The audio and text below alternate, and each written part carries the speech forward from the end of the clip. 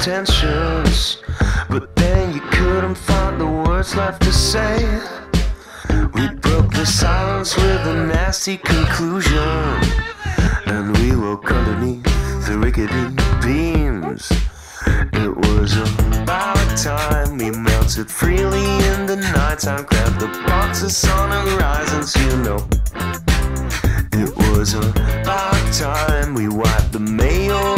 flies, saw the hunger in this nimble boutique. Cause we